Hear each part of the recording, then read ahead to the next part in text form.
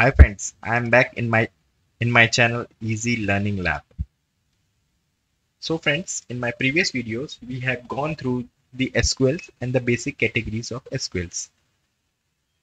In my this videos, we will we will cover the one the first category that is the DDL commands. So friends, let's start. So first one is a create statement. What does create statement do? This command is used to create a table in a database.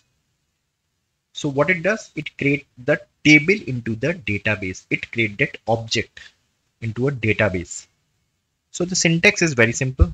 Create table, table name, bracket, column name, data type, second column name, data type, bracket close, semicolon, and just I have given you an example of creating a student table. That is a create table student and we have a name and an age as a column and varchar 30 and a number as a data type of that columns. It will create a table with student which has having name and an age as a column. But it has not created any rows. It has just created the structure of the table. Next command is truncate. This command is used to remove the records from the table, like remove the rows from the table. So we have a delete command also, but delete command is you, delete and truncate command have some some major differences. In delete command, we can use a where clause. We can limit the number of rows to delete, but in a truncate, we cannot limit. It will read all the records. So I will come to this topic in my next videos. But for time being, just understand this truncate commands. The syntax of this truncate command is truncate table table name. So I've just given you the example truncate table student. What it does, it will remove all the rows from this student table. So this will delete all the records from table student, also remove spaces from the records. So I will cover this in my later topic where I tell you the difference between a truncate and a delete command. In that video, I will cover this topic. But for time being, just remember the syntax. Now next is very important that's the alter, alter command. This alter command is used to alter the structure of the table. For example, like if you want to add some new column into a into a table like you want to add a gender column into the table. So use the alter command to use this. So what is the syntax? Alter table, table name, add column, column, column data type, column to data type, etc. So just remember the syntax. For dropping also, like if you want to drop some columns from that table, you use a drop uh, alter alter table with a drop column command if you want to modify that column you need an alter table with the modify clause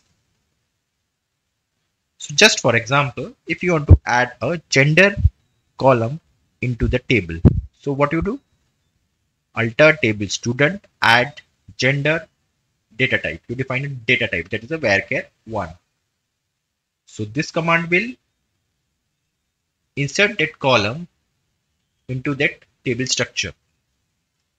Alter that and alter that column into this the structure table structure. Similarly if you want to drop that column from the table you use the alter table student drop column gender. So what it does? It drop that column and the third one is you want to modify the data type of it like earlier you have added it varchar 1 now you want to increase the size of it like you want to increase the size of uh, gender column to varchar 3 so you use this modify command So next command is a drop. If you want to drop the whole table from a database, you use this drop command. So the syntax is very simple. Drop table, table name, drop table student. This is example.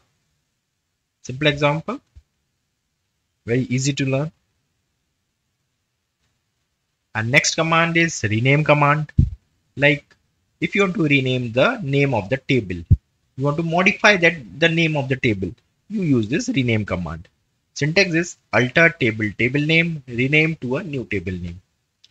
So example is simple alter table student rename to student info. What does this means? Now this table is referred as a student info, not as a student. This table name has been changed to a student info. Just you want to remember all the syntax of it while we do a practice, then you can learn this uh, and slowly, slowly you you will learn this all the commands, all the syntaxes. Thank you friends. This is all about DDL. In my next video, we will cover a very important topic that is a DML. So I will tell you the syntax and what are the DML operations we can perform like insert, update, delete. If you like my videos, just subscribe me, like it and thank you.